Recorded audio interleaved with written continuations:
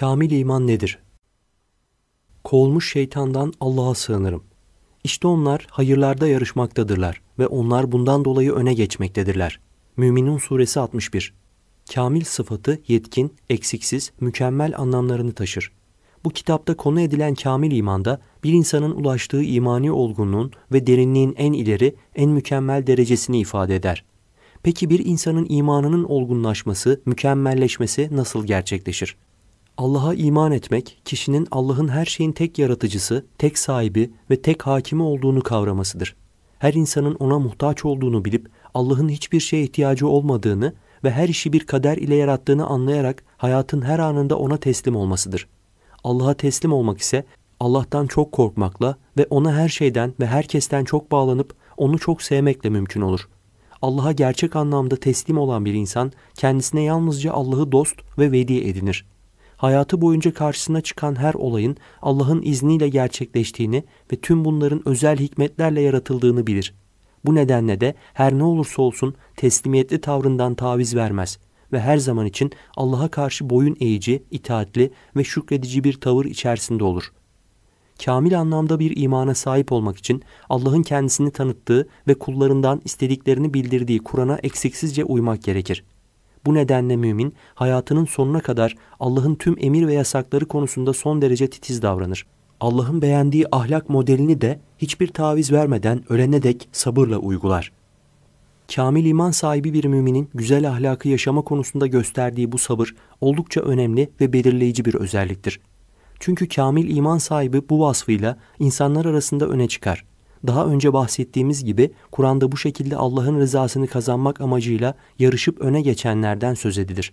Ancak Kur'an'da kovulmuş şeytandan Allah'a sığınırım. İnsanlardan kimi Allah'a bir ucundan ibadet eder. Ayetinde belirtildiği gibi imanın gereklerini yaşamayan kimselerden de bahsedilir. Kamil imanın farkı da bu noktada ortaya çıkar.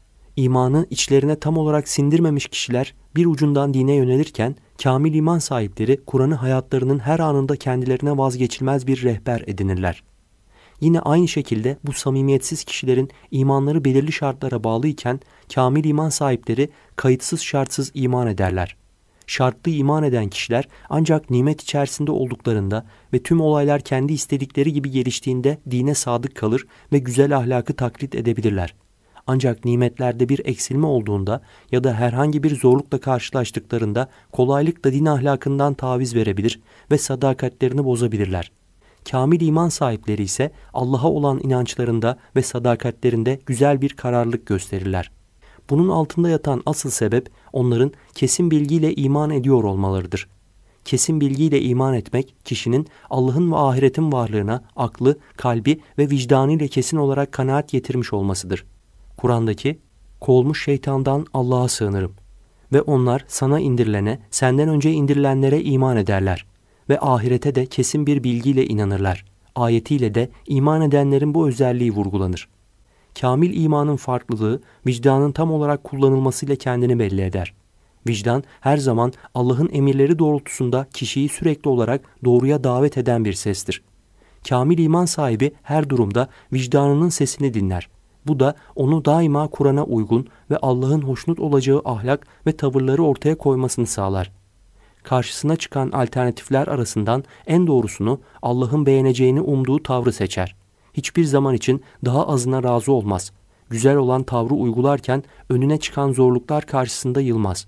Nefsinin istek ve tutkularına yenik düşerek doğru ve güzel olandan taviz vermez. Bu konuyu günlük hayattan bir örnek vererek açıklayabiliriz. Büyük bir fabrikada geniş çapta bir yangın çıktığını düşünelim. Böyle bir durumda fabrika sahibinin karşısına pek çok alternatif çıkar. Söz gelimi fabrikanın yanmasını önlemek için içeride kalıp işçileri de seferber ederek yangını söndürmeye çalışabilir. Veya canını kurtarmak için diğer çalışanlara haber dahi vermeden bir an önce fabrikayı terk edebilir. Ya da yangın çıktığını duyurarak tüm fabrika çalışanlarının hemen dışarı çıkmasını sağlayıp bir yandan da durumu itfaiyeye bildirerek yardım isteyebilir.'' Bu alternatiflerin hepsi de bir dereceye kadar makul görülebilir. İşte vicdan, insana içinde bulunduğu şartlarda bunlar arasından hangisinin gerçekten de en doğru ve en akılcı karar, Allah'ın rızasını kazanmaya en uygun davranış şekli olduğunu gösterir. İşte kamil imanda vicdanın gösterdiği doğru tavır ve davranışı nefsine hiçbir taviz vermeden kayıtsız şartsız ve içinde hiçbir burkuntu ve pişmanlık duymadan uygulayan kişinin imanıdır. Peygamber Efendimiz sallallahu aleyhi ve sellem bir hadisinde Allah'a iman ile ilgili olarak şöyle buyurmaktadır. Allah'tan başka ilah yoktur. O tektir, şeriksizdir. Arz ve semanın mülkü ona aittir. Bütün hamdler onadır. O her şeye kadirdir de. Taşlanmış şeytandan Allah'a sığın. Kütüb-i Sitte 16. cilt sayfa 311